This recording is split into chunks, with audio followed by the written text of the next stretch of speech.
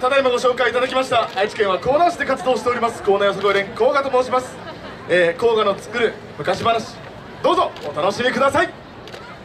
せい。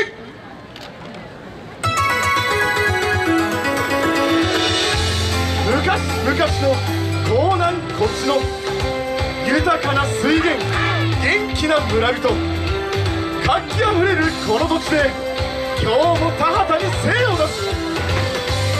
Stop!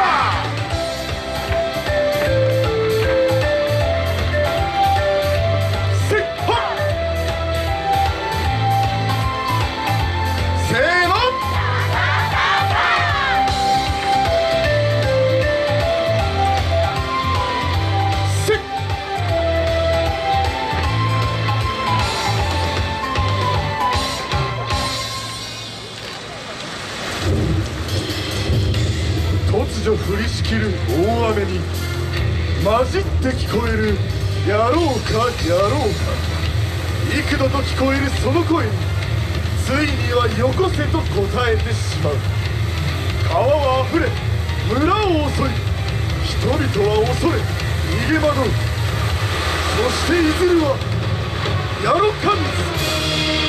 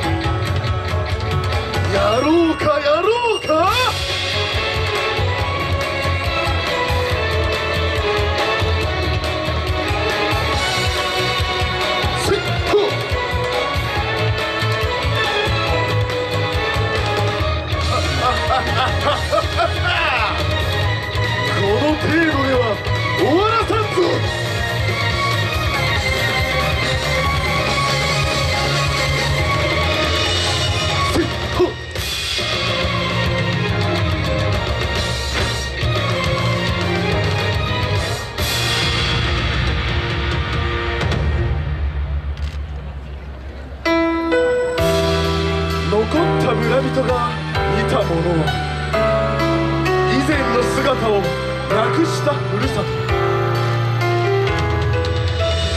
しかし絶望の中人々は決意する。ここを以前よりも豊かな土地。にさあ立ち上がろう。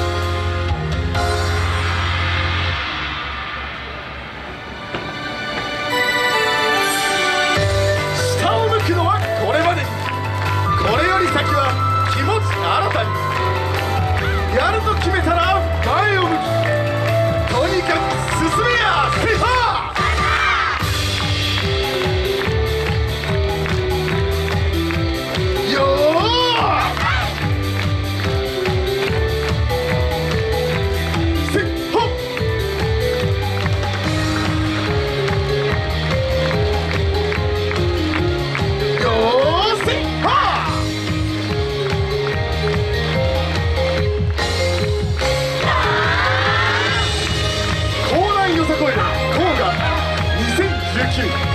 歩み。さあ共に作るこの地の未来へ。せっは